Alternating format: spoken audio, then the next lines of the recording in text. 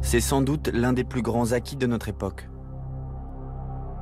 La science dispose désormais d'un récit de nos origines.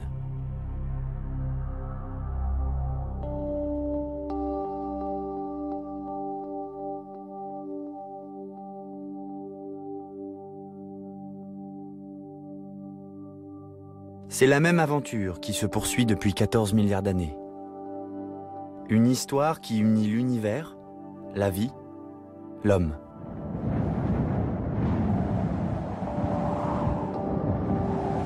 Nous descendons des singes et des bactéries, mais aussi des astres et des galaxies.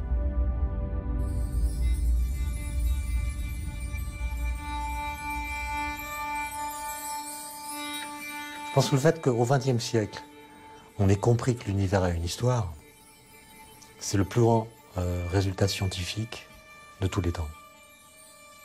Le discours de la science est incomplet, mais il est précieux. On pourrait dire que la science, c'est une sorte de, trésor d'incomplétude. Donc notre histoire commence. Mais par où commencer? Depuis toujours, les hommes regardent les étoiles en s'interrogeant sur l'origine du monde. Mais un homme, un jour, a vu ce qu'aucun n'avait vu jusqu'ici. En 1609, Galilée a l'idée de tourner vers le ciel une lunette, un instrument qui servait jusqu'alors à surveiller les armées ennemies. Mais lorsqu'il regarde dans sa lunette astronomique, il ne sait pas encore qu'il effectue un prodigieux voyage dans le temps, un voyage dans l'histoire même de l'univers. Ce que l'astronomie a découvert il y a quelques siècles, c'est que quand on regarde dans le ciel, on voit non pas l'univers tel qu'il est aujourd'hui, mais tel qu'il était dans le passé.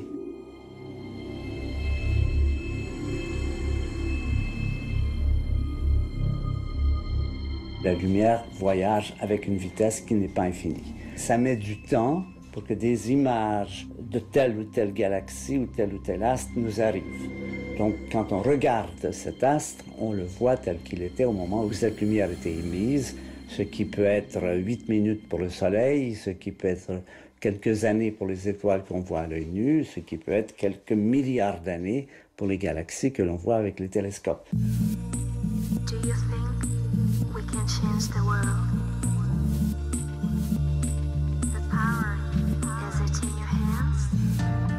Sans télescope, nous ne connaîtrions qu'une lune, six planètes et quelques milliers d'étoiles. L'observatoire du pic du Midi se situe à près de 3000 mètres d'altitude dans les Pyrénées.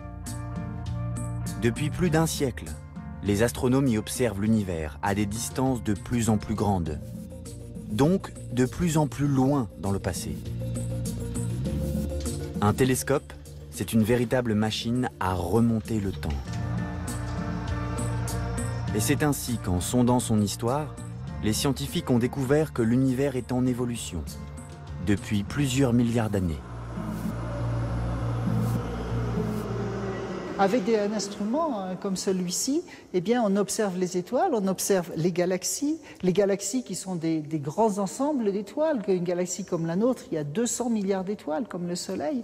Et ces galaxies, eh bien, on s'aperçoit d'abord, elles sont très loin et elles s'éloignent. Elles s'éloignent de nous.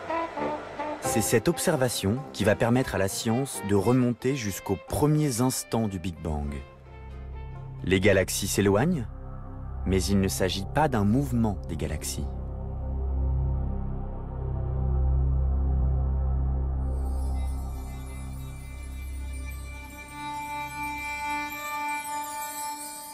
On a l'impression que les galaxies s'éloignent de nous euh, proportionnellement à leur distance. Plus elles sont loin, plus elles s'éloignent de nous avec une grande vitesse.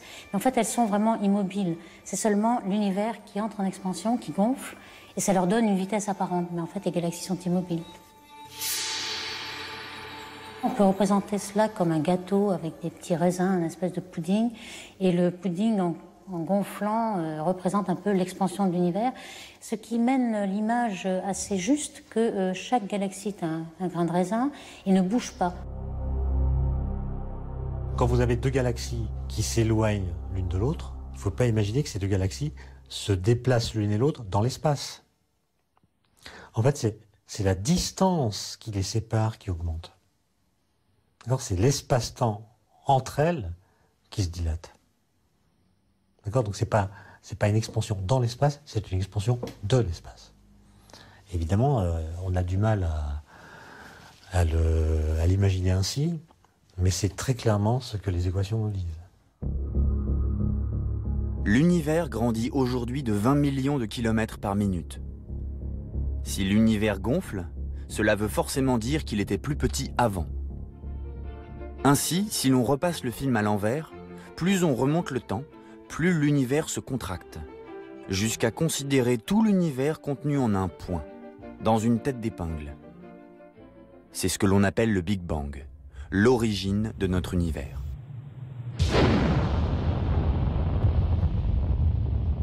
Cet événement a eu lieu il y a 13,7 milliards d'années. Cette théorie d'un début, d'une naissance de l'univers, a longtemps été contestée par les scientifiques eux-mêmes.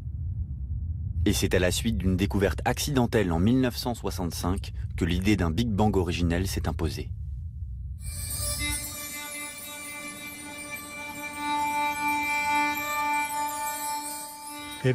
C'était un accident.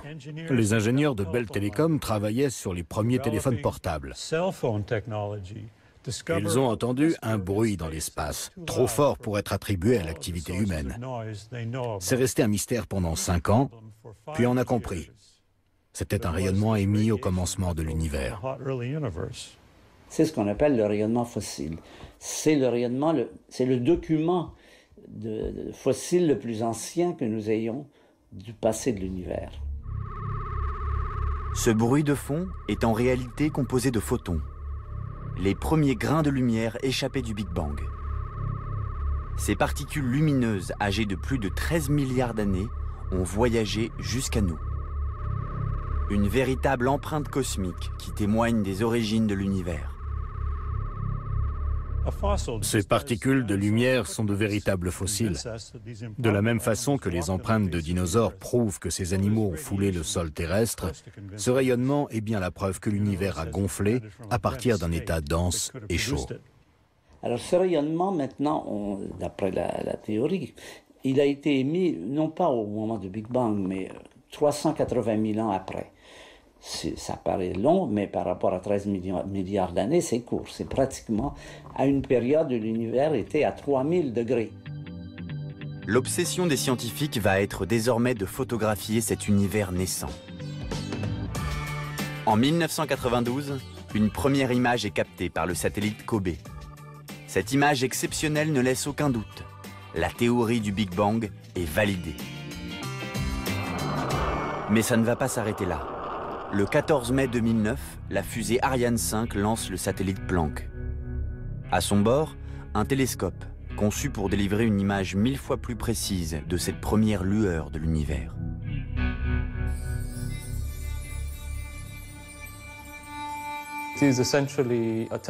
Le satellite Planck, c'est essentiellement un télescope qui, grâce à ses détecteurs, reconstitue une image précise de l'espace.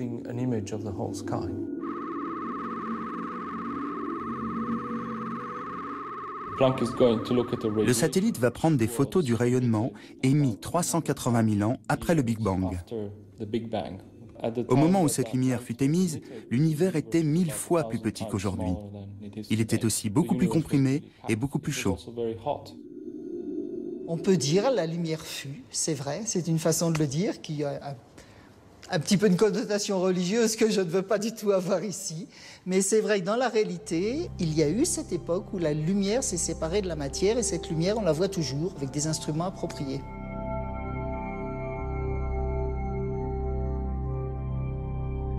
Quand l'univers était moins âgé que ces 380 000 ans, il était chaud, il était lumineux, mais cette lumière-là était toujours absorbée et réémise euh, par la matière, donc elle ne nous elle n'a pas directement traversé les âges.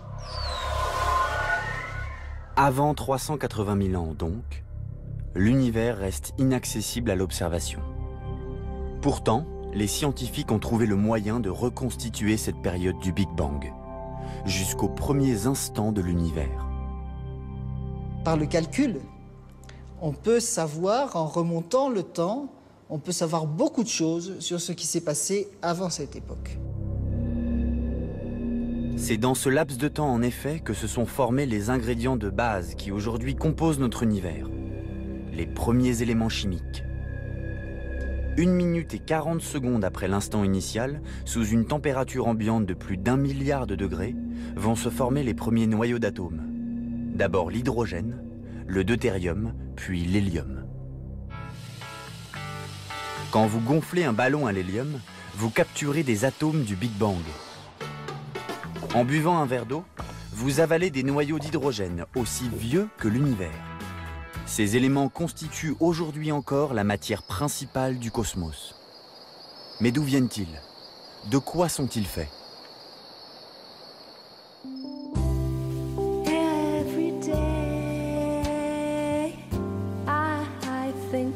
Ces premiers atomes sont eux-mêmes composés de particules plus petites, les électrons et les quarks ce sont les particules élémentaires. Si on veut remonter le temps, il faut donc pouvoir diviser la matière pour dire quel est le plus petit composant de l'univers. Quand on remonte vers le Big Bang, on approche d'un moment où tous les éléments, les atomes, les galaxies, les, chevreuils sont dissociés en quarks et en électrons. La dernière image que l'on a accessible, c'est une espèce de soupe, de potage de ces lettres euh, qui sont les particules élémentaires. Cette soupe primordiale est la clé de voûte des origines. En étudiant l'infiniment petit, on se rapproche inexorablement du Big Bang. C'est la raison d'être de cette mystérieuse machine, le grand accélérateur de particules du CERN en Suisse. Cet anneau souterrain de 27 km de circonférence projette des particules à des vitesses proches de celles de la lumière.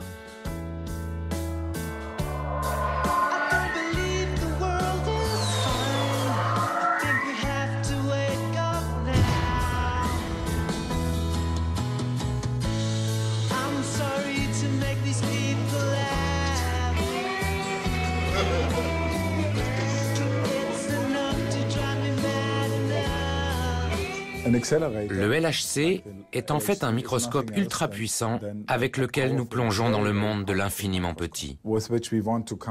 Nous essayons tout d'abord de comprendre la nature des particules qui nous composent et de savoir quelles forces les animent.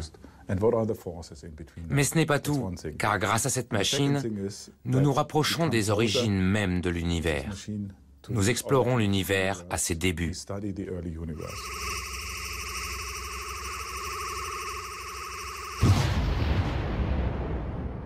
Vous avez deux faisceaux de particules de très haute énergie qui entrent en collision. Ça veut dire que pendant, dans un tout petit volume dans l'espace, pendant un temps très bref, vous recréez dans le présent les conditions physiques de l'univers primordial. Le but de cette expérience unique est bien de percer les secrets de la matière. Voir comment la matière se comporte quand elle est soumise à une forte densité et à de très hautes températures, c'est imaginer comment notre univers a pu se former dans un mouchoir de poche, il y a 13,7 milliards d'années.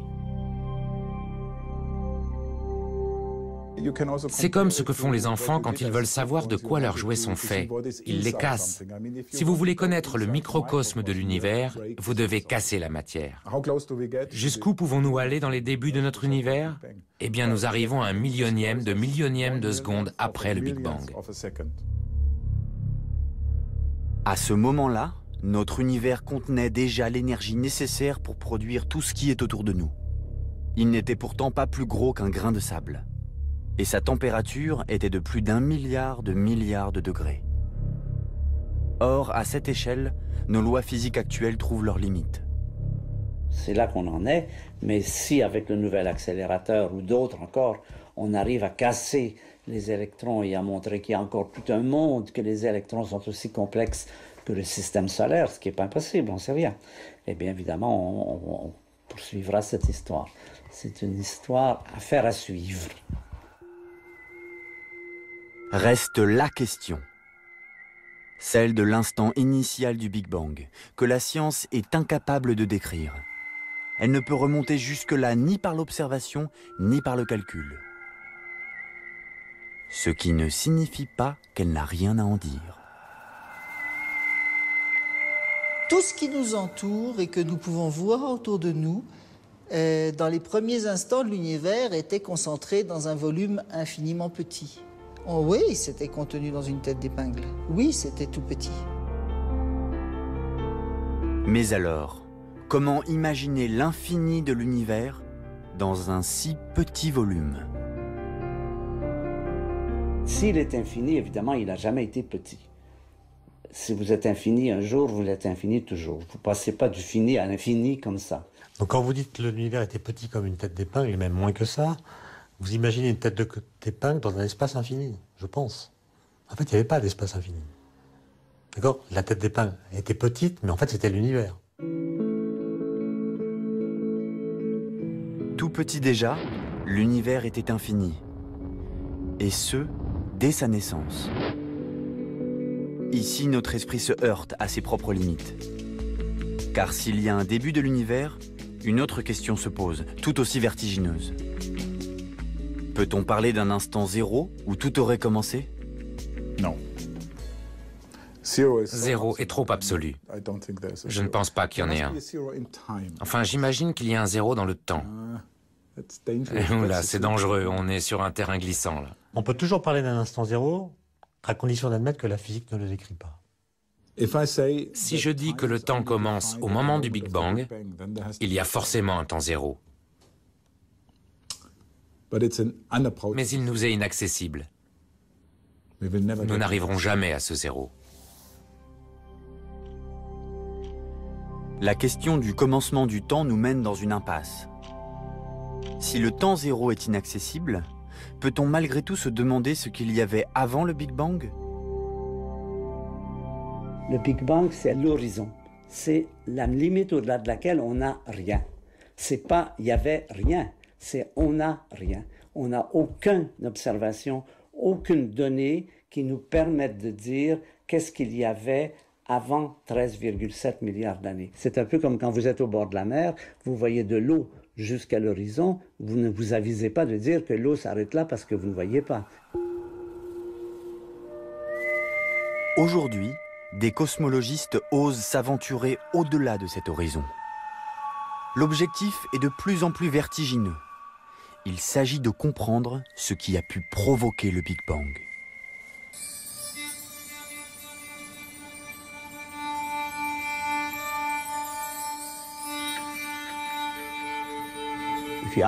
Demandez à n'importe quel expert en physique quantique.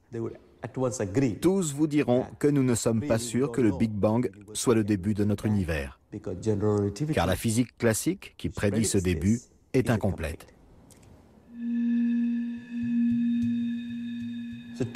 J'ai toujours eu l'intuition que le Big Bang ne pouvait pas avoir tout créé. Mais qu'est-ce qui pouvait remplacer cette théorie? Ce physicien reconnu mondialement a construit un modèle mathématique pour traverser la barrière du Big Bang. Il peut alors regarder de l'autre côté du miroir. Dans le passé lointain, l'univers était vaste, mais s'est effondré sur lui-même. Il est devenu tout petit petit et il s'est redéployé. Le professeur Ashtekar décrit l'existence avant le Big Bang d'un univers semblable au nôtre, mais à l'évolution inverse. Au lieu d'être en expansion, il se contractait jusqu'à un point de passage nommé Big Bounce, le grand rebond. Cet univers aurait donc rebondi sur lui-même pour donner naissance au nôtre.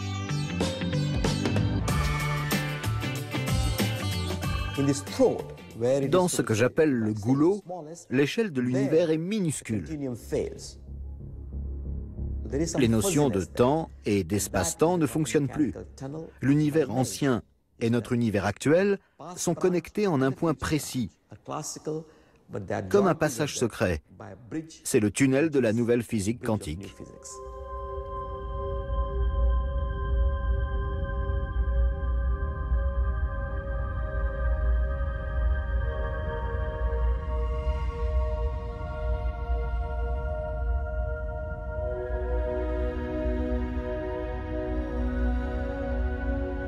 Ce que nous voyons aujourd'hui a une filiation directe avec le Big Bang.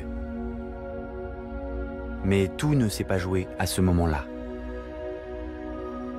Le monde ne s'est pas fait en 7 jours, mais bien en 13,7 milliards d'années. Cette évolution est jalonnée de naissances et de disparitions. Rien ne se perd, rien ne se crée. Tout se transforme.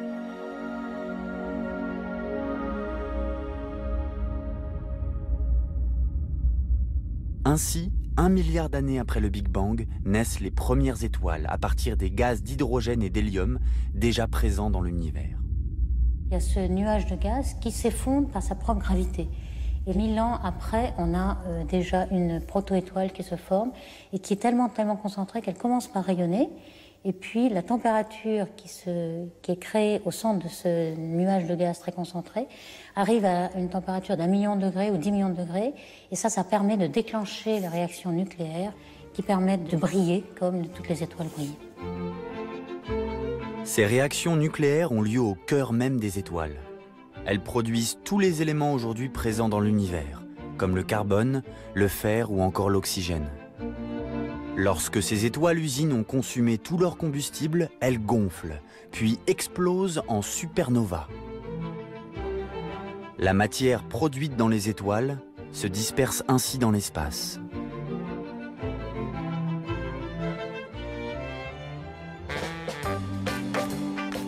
Cette machinerie se répète à l'infini et produira les quelques 200 milliards de galaxies que l'on observe aujourd'hui dans le cosmos. Chacune d'entre elles est composée de plusieurs centaines de milliards d'étoiles. Bienvenue dans votre galaxie, la Voie lactée. Il y a 4,5 milliards d'années naît une étoile à la périphérie de la Voie lactée, le Soleil. Des amas gazeux se détachent du Soleil en formation et gravitent autour de lui. C'est ainsi que les planètes de notre système se forment. Et la Terre avec.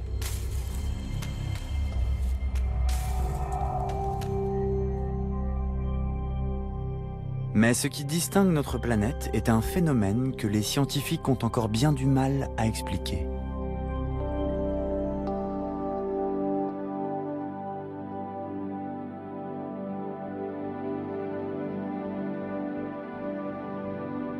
La diversité du vivant sur la Terre incarne un stade très avancé de l'évolution.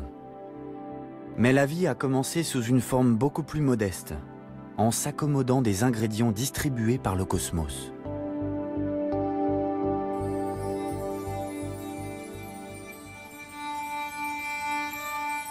La Terre s'est formée il y a 4,56 milliards d'années. Après sa formation, pendant plusieurs centaines de millions d'années, elle a été bombardée, elle a reçu des, météorites, d'énormes météorites avec des flux très importants. Ce flux, il a diminué de façon notable il y a 4 milliards d'années. Et on pense que c'est à ce moment-là que la vie est apparue. Ces météorites, elles étaient aussi bénéfiques en fait pour l'apparition de la vie, parce qu'elles ont apporté les ingrédients nécessaires pour que la cuisine prébiotique, la chimie prébiotique, euh, se fasse sur Terre et conduise à la vie.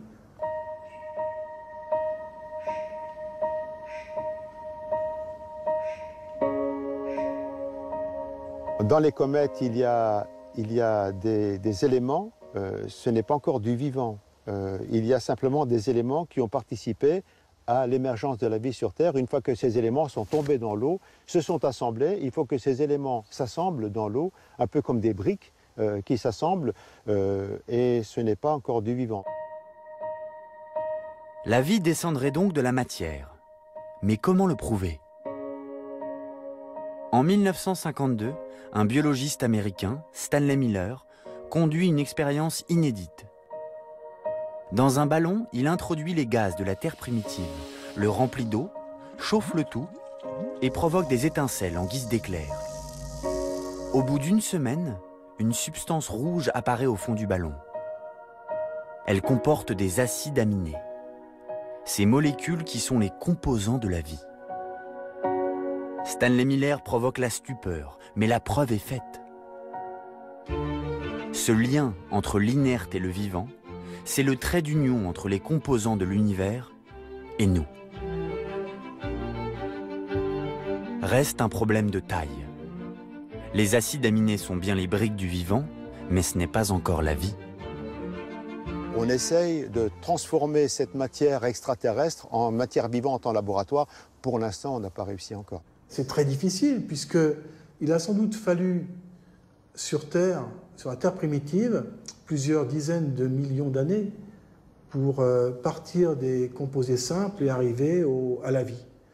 Et ça, avec notre faible durée de vie de pauvres scientifiques, on ne peut pas le reproduire expérimentalement, bien évidemment. Les scientifiques n'ont donc aucune trace, aucune image des premiers pas de la vie. À la suite de longues fouilles, ils ont fini par dénicher la plus ancienne manifestation du vivant sur Terre.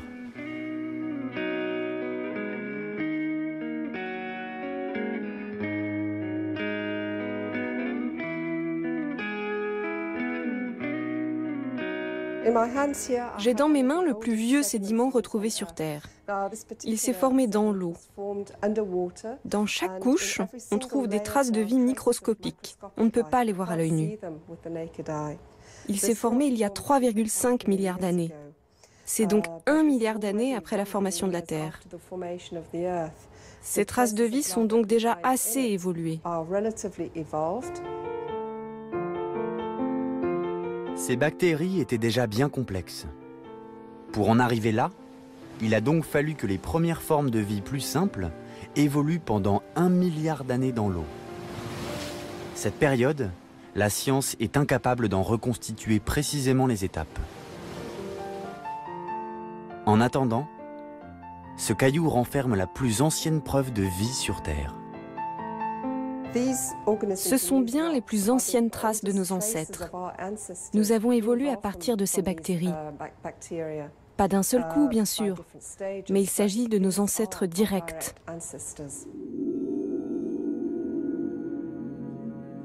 Les premières bactéries sont donc les ancêtres de tous les organismes vivants. Elles vont régner pendant quelques 3 milliards d'années en compagnie de quelques algues primitives.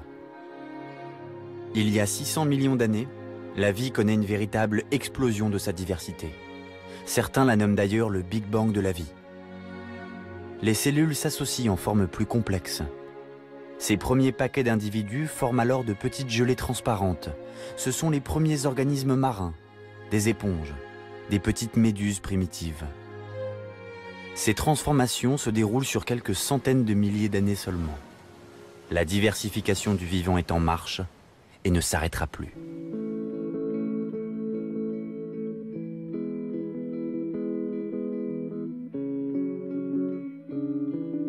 Le Muséum d'histoire naturelle de Paris a constitué en quatre siècles une véritable bibliothèque du vivant. Cette classification permet de comprendre comment les espèces varient d'une génération à l'autre. C'est le milieu naturel, en perpétuel mouvement, qui provoque ces variations. Et ce singe que nous sommes n'échappe pas à cette règle.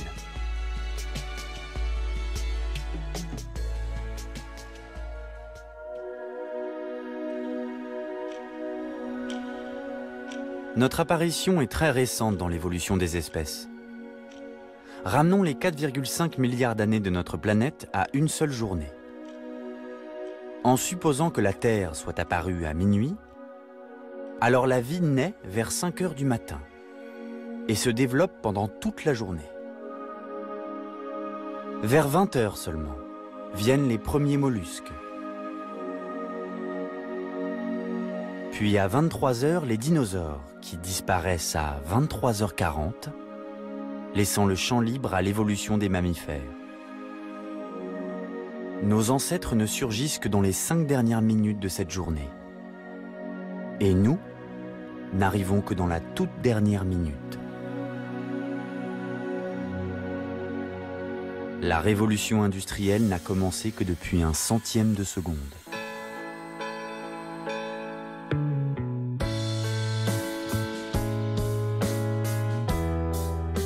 Nous avons longtemps placé l'homme au sommet de l'évolution. Notre arbre généalogique suivait alors une progression linéaire, d'un être primitif vers un être parfait. Mais cette image d'Épinal ne résiste pas au progrès de la génétique et de la paléontologie. L'homme ne descend pas du singe. C'est un singe, parmi d'autres. L'histoire de nos origines n'est pas une ligne droite, mais un véritable labyrinthe.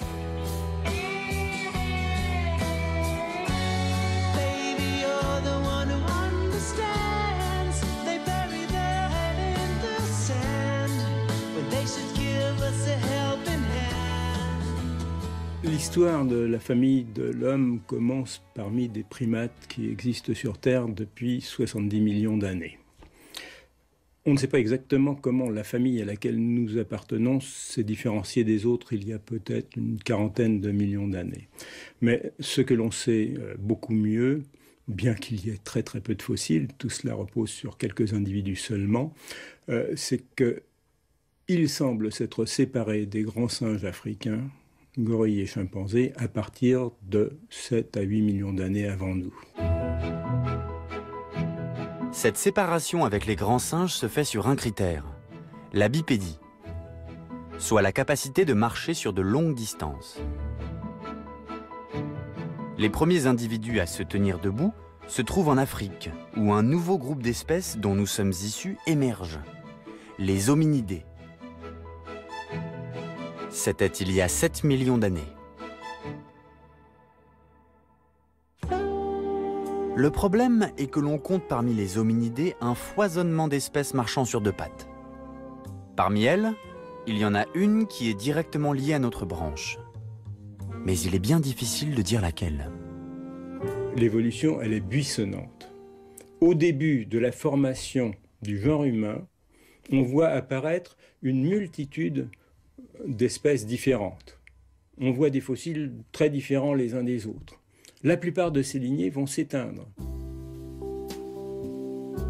Identifier notre ancêtre est un vrai casse-tête. La bipédie n'est pas un critère exclusif à notre lignée. Et il en va de même pour la confection d'outils. Car il y a 2,5 millions d'années, plusieurs espèces distinctes possédaient cette même technique.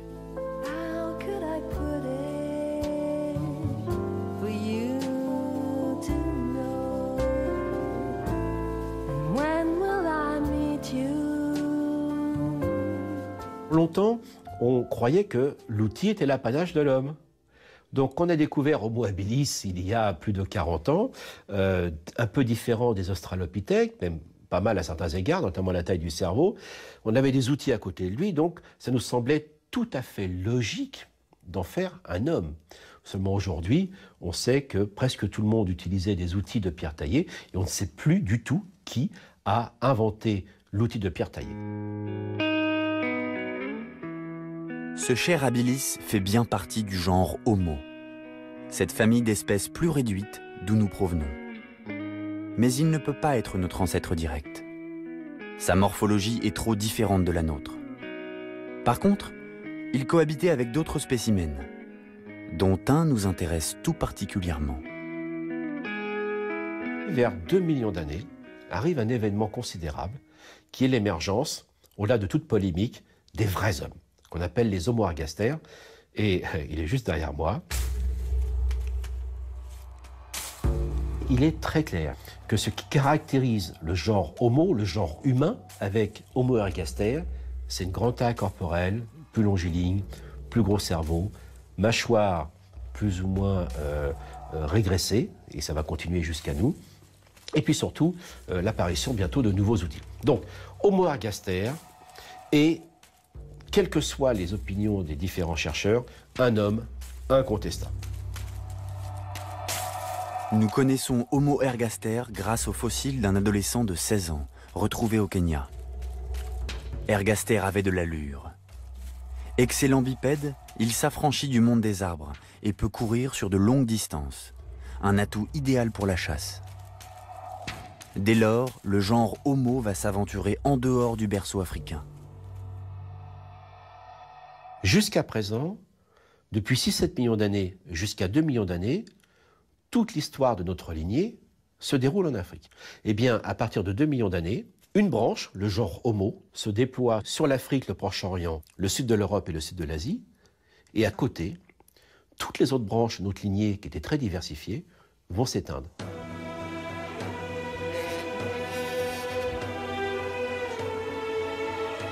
Si Homo ergaster investit de nouveaux territoires, c'est parce qu'il suit la faune africaine, sa communauté écologique. À la faveur d'un réchauffement climatique, hommes et animaux s'étendent plus au nord, jusqu'ici en Espagne, à Atapuerca.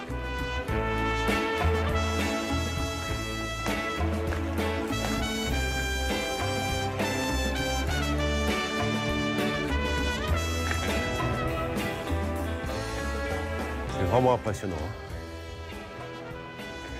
On a ici le plus ancien site européen attestant la présence des premiers hommes sur euh, notre continent. Et là, ce qui est devant nous, c'est le site d'Elefante et qui remonte à la base à 1,2 million, 1,3 million. C'est la première trace avérée de la présence d'hommes en Europe, ici en Espagne. De ces premiers Européens, les paléontologues n'ont retrouvé que quelques morceaux de crâne et de mâchoire, exceptionnellement bien conservés. Juste assez pour leur tirer le portrait. Alors quels sont ces hommes? Certainement encore des homo ergaster, mais ils commencent déjà à se modifier et on les appellera les homo antecessors. Alors il n'est pas certain que ce soit une autre espèce, mais ça veut dire que ça a déjà changé. Homo antecessor prospère dans la région pendant près de 500 000 ans. Et là encore, il se modifie au fil du temps. Une nouvelle espèce du genre humain va alors lui succéder. Atapuerca conserve les traces de cette évolution. Nous sommes maintenant il y a 400 000 ans, dans le gisement de la Galeria. Nous arrivons dans la période qui fait suite à Homo antecessor. Donc après Homo antecessor, se dégage une branche de la lignée humaine qui mène vers l'homme de Néandertal. Mais entre Néandertal et antécessor, voici monsieur Homo heidelbergensis, qui annonce l'homme de Néandertal. Donc c'est très important, nous sommes sur une branche de la lignée humaine, du genre humain, qui va venir vers les vrais Européens qu'on appelle les hommes de Néandertal. Ce fossile retrouvé à Atapuerca est celui d'un homme robuste, d'un mètre 70 pour 90 kilos.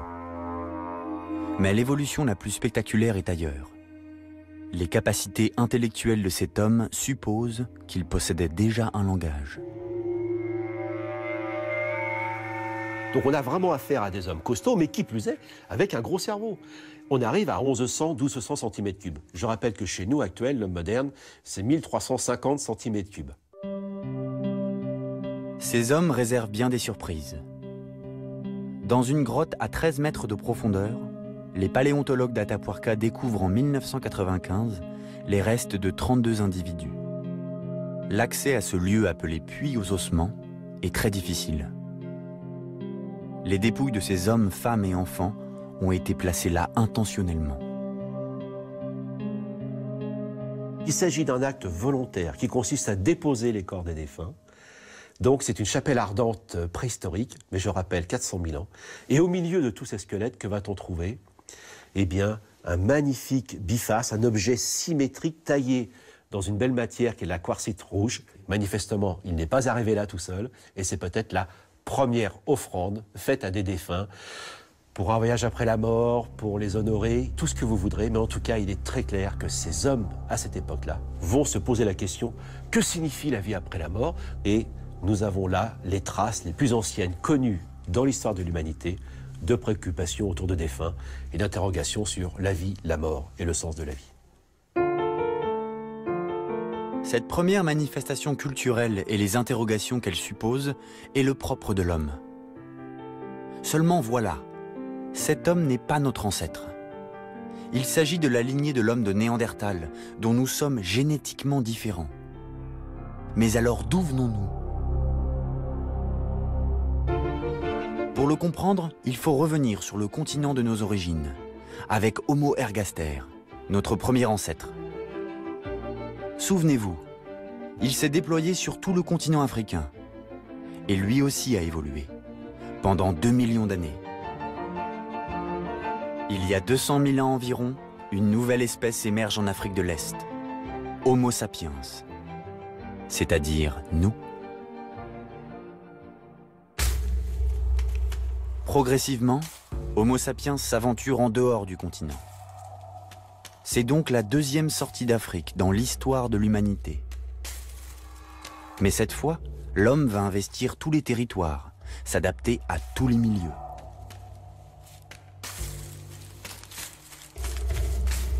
Homo sapiens, c'est une réussite comme jamais auparavant dans l'histoire de tous les mammifères, je dis bien tous les mammifères. Il n'y a pas un seul mammifère qui a été capable d'aller partout dans le monde comme cela. Je vous donne un seul exemple. Comment croyez-vous que les hommes sont allés en Australie?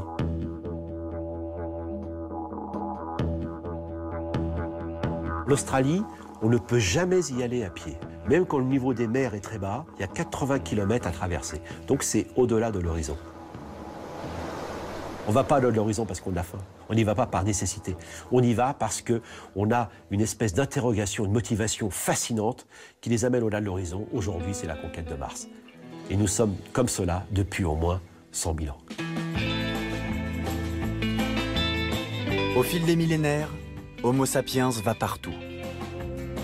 Ainsi, il y a 40 000 ans, nos ancêtres directs investissent le continent européen. On les appelle désormais les hommes de Cro-Magnon. Et sur cette nouvelle terre, surprise, nous ne sommes pas les premiers.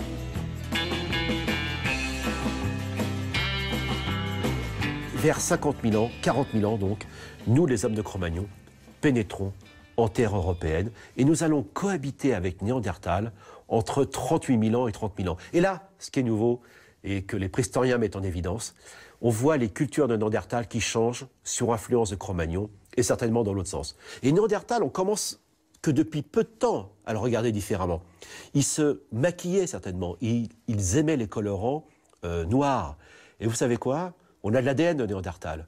Et il y a deux ans, on est tombé sur des parties de l'ADN qui codent pour la couleur de la peau, des yeux et des cheveux. Et les hommes de Néandertal étaient des hommes roux et blonds, alors que nous, à cette époque-là, nous avions certainement la peau noire. On a longtemps voulu faire de Néandertal une sous-espèce de la nôtre. Pourtant, les travaux de génétique les plus récents confirment que Néandertal et Sapiens sont bien deux espèces différentes, à un degré d'évolution comparable. Ils font tous deux partie du genre humain. La lignée de Néandertal est d'ailleurs la première à manifester des préoccupations proprement humaines.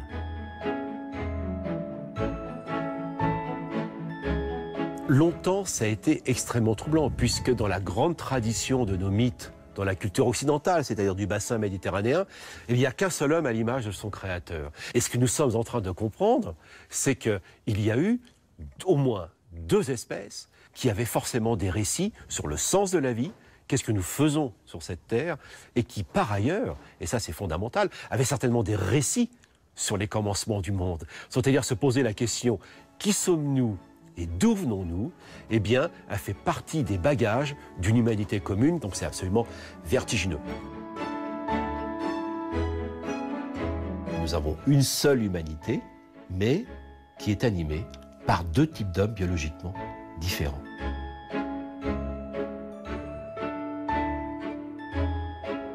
Pendant près de 10 000 ans, nous avons côtoyé des femmes et des hommes d'une autre espèce que la nôtre. Puis, pour des raisons encore mal connues, Néandertal s'est éteint. C'était il y a 30 000 ans. Commençait alors la solitude d'Homo sapiens, seul face à ses interrogations sur le monde et ses origines. Le fait que les humains de l'époque ancienne aient été très peu nombreux faisait qu'ils étaient extrêmement exposés. Les risques de famine, les risques d'être décimés par des épidémies étaient considérables. Donc le sort de la plupart des populations de la préhistoire, c'était sans doute l'extinction.